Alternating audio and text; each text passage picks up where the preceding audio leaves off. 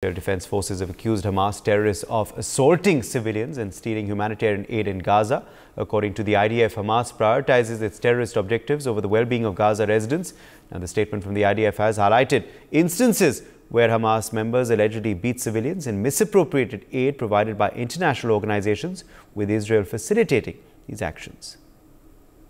Well, the IDF has asserted that Hamas uh, places its terrorist goals above the needs of the people of Gaza.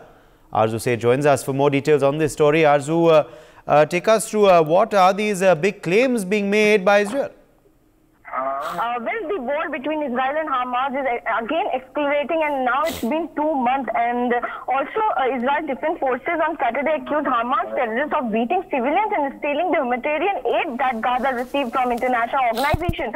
Also, the IDF stated that Hamas Hello. put uh, its terrorist goal over the need of Gaza's residents. Uh, I did share a video on uh, Twitter from uh, that showed people getting beaten by some individuals. In the video, some individuals also placed some uh, material in the vehicles. Uh, while sharing the video on X, the IDF stated Hamas member beat uh, civilians and still the humanitarian aid they received from international organizations facilitated by Israel. Hamas put its terrorist goal over Gaza. So uh, the you know the hum- humanitarian That's, aid there, there's obviously an error there. I just want to point out that's an error there. Israel can, of course, not be facilitating these actions. Uh, uh, obviously, this is uh, absolutely shocking what Hamas is doing, and this is something that the IDF has, uh, of course, uh, uh, questioned and asserted. Uh, Group Captain V.N. Jha, defense expert, is also joining us. Uh, you know, Group Captain Jha, this is further justification, obviously, being given by the IDF why the war is carrying on uh, against Hamas.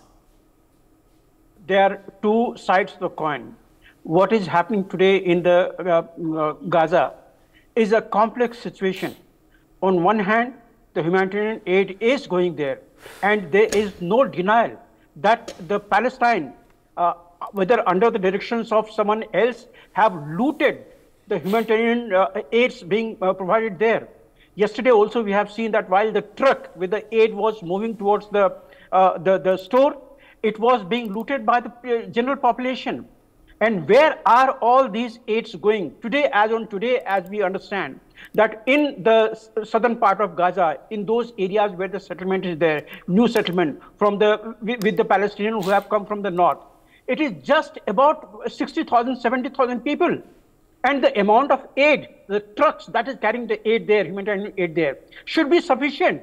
But then where it is vanishing, then it is worth recalling IDF's statement that whatever is reaching there, the major part of that is being uh, grabbed by Hamas in under, underneath their tunnel for their own uses. And there is no denial that the, the civilian, normal civilians, the, the innocent civilians, they are left high and dry. So that's the reality of the situation. And on to this, the UN and the UN body who are who are in charge of those humanitarian aids must ensure that those aids go to the innocent civilians for whom it is meant for.